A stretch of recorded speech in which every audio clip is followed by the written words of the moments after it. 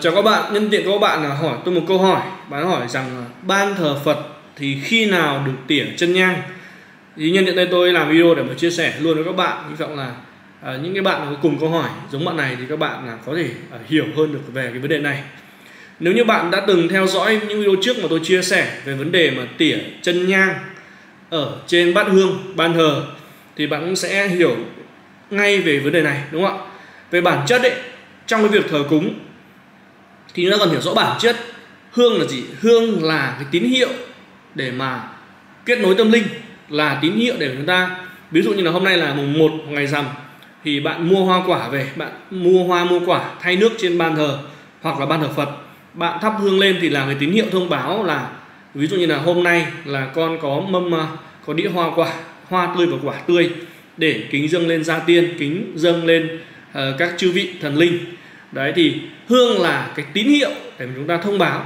Và nếu như bát hương này bạn đốt đúng này đúng không ạ? Đúng quy trình đúng chuẩn thì khi mà bạn thắp hương lên thì dùng tầm long có thể kiểm tra được là có sự kết nối về tâm linh hay không gia tiên có về hay không thần linh có về hay không.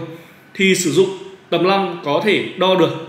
Còn khi mà bạn không thắp hương ấy, thì bạn dùng tầm long ấy, thì tầm long sẽ báo không có. Đấy thì nếu bạn nào chưa theo dõi video đó thì hãy theo dõi lại video trước mà tôi đã chia sẻ về vấn đề mà kiểm tra trục linh trên bát hương. Thực tế tại ban thờ nhà tôi. Đấy, còn quay trở lại cái vấn đề về tỉa chân nhang của ban thờ Phật ấy thì khi mà chúng ta đã hiểu về bản chất là hương là cái tín hiệu để mà thông báo, đúng không ạ, với lại thần Phật, với lại gia tiên, thì bạn hoàn toàn có thể tỉa chân nhang ở bất cứ thời điểm nào khi mà bạn không thắp hương các bạn lưu ý nhé khi bạn không thắp hương thì bạn có thể tỉa chân nhang ở bất cứ thời điểm nào. Đấy, cho dù là hôm nào cũng được có nghĩa là không phải kiêng kỵ ngày nào cả cũng không cần phải xin phép gì cả. Bởi bạn hình dung là khi mà chúng ta không thắp nhang ở trên ban thờ đúng không ạ? Thì sẽ không có ai về ban thờ. Thì khi đó bạn có thể tỉa bạn lau bạn chùi bạn thoải mái không vấn đề gì cả. Đấy thậm chí nhà tôi ấy, thì tôi còn dùng cái hương trầm mà có loại không đậu nhang tức là nó cháy xong là nó hết luôn nó rất là sạch sẽ. Đấy thì bấy lâu nay thì chúng ta vẫn sợ vấn đề là chúng ta vẫn à, nghe các có thể là rất là nhiều thầy phải bảo rằng là hai ba ông công thì mới được tỉa rồi mới được bao sái bát hương thì thực tế ra là cái vấn đề đó là không phải đâu rất là là bụi bẩn đúng không ạ? Bạn có thấy là nhiều nhà ấy, cái tàn hương cháy rụng đầy ban thờ mà họ không dám lau đúng không ạ? Đấy, khi mà chúng ta hiểu bản chất vấn đề là khi mà không thắp hương thì không có ai ở trên ban thờ cả bạn có thể bê bát hương từ chỗ nọ sang chỗ kia. Thoải mái không sao cả. Đấy hoặc là bạn tỉa chân nhang thoải mái đúng không khi mà chúng ta lau chùi sạch sẽ trên ban thờ thì thì rõ ràng là gia tiên cũng như thần linh cũng như đức phật đúng không sẽ rất là là thích chứ đúng không? Đấy sạch sẽ. Cứ tránh cái trường hợp mà nhiều người cứ sợ cả năm mới lau chùi ban thờ một lần thì nó rất là bẩn. Đấy, mà không cần thiết phải phải kiêng kỵ như vậy. Đấy thì các bạn chỉ cần hiểu bản chất của vấn đề thì chúng ta làm cái gì chúng ta sẽ không sợ đấy, thậm chí nhà tôi thì tôi vẫn bê bát hương bất kể thế nào. Khi tôi có thắp hương tôi bê bát hương tôi lau chùi sạch sẽ trên ban thờ.